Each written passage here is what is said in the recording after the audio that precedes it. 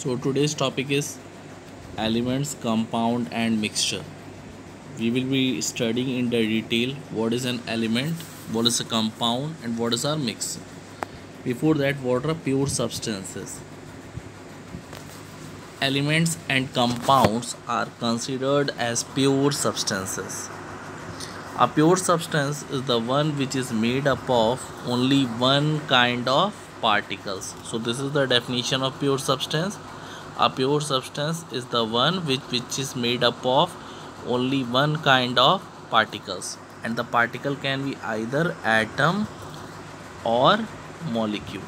So it can be either atom or molecule all the elements and compound are pure substances because they contain only one kind of particles very important line means they are composed of only one type of particles. Example you can see in case of elements oxygen nitrogen chlorine bromine iodine. These all are made up of only one kind of particles. Suppose compounds example water co2 these all are made up of only one kind of particles so we can easily understand that a pure substance is homogeneous throughout the mass. Homogeneous means which is having the same composition which is having the same composition. That is homogeneous nature. Then what are impure substances? Impure substances are known as mixtures a mixture is the one which contains two or more different kind of particles in this atom or molecules are different in a mixture the constituent component of a mixture mix physically and retain their original properties. In other words, a mixture contains two or more pure substance mixed together. Example milk. Milk is a mixture because water, fat and protein are present in different ratios what are the other examples of mixture lpg biogas tap water tea coffee paint wood these are the examples of mixture all the mixtures are impure substance because they contain more than one kind of particles a mixture does not have a fixed composition no fixed melting point and boiling point.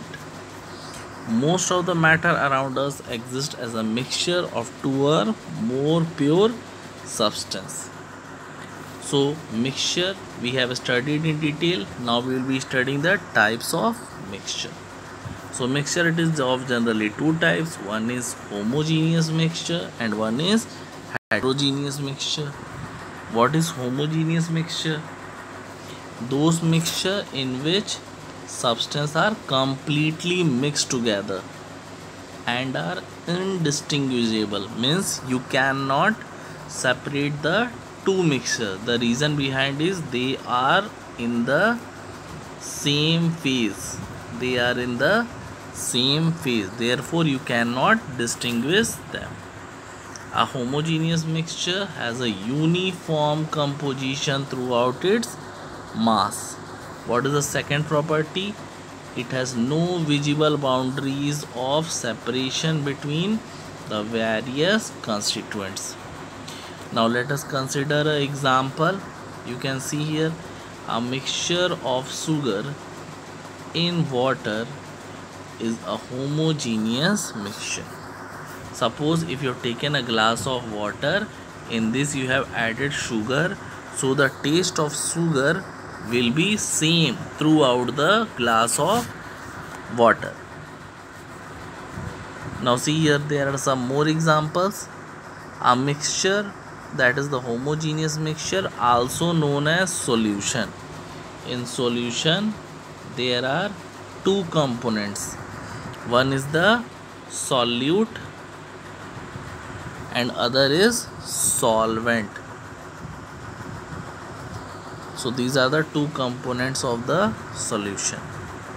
Heterogeneous mixture in this it is the reverse of homogeneous mixture those mixture in which the substance remains separate and one substance is spread throughout the other substance. A heterogeneous mixture does not have a uniform composition no uniform composition. It has visible boundaries. Example the mixture of sugar and sand is a heterogeneous mixture some of the examples of heterogeneous mixture are polluted air milk. The reason behind is there is no fixed composition. Now this is the table where you can see the exact classification of matter. Matter is classified into two parts pure substance and mixture. Pure substance has element compound mixture homogeneous mixture heterogeneous mixture so this is the table for classification. Need for separation of mixtures. Now here we will be studying about different methods of separation. First the method is threshing. It is a method of separation threshing. Now see what is a threshing? When food grains like wheat or paddy matures it is harvested from fields. The grains are separated from stalk now see here the grains if separated from stalk that process is known as threshing. Separation of grain from stalk is known as threshing. And the instrument used or the machine used is thresher. This is the basic of threshing. Next is winnowing what is winnowing separating the husk from grain. Separating the husk from grain with the help of wind is known as winnowing now you can see the lady he is performing the winnowing process. The wind is blowing away and the grains and the husk is separated with the help of wind because the grain is bit heavier and the husk is lighter so the wind moves away the husk. Next is hand picking. What do you mean by hand picking?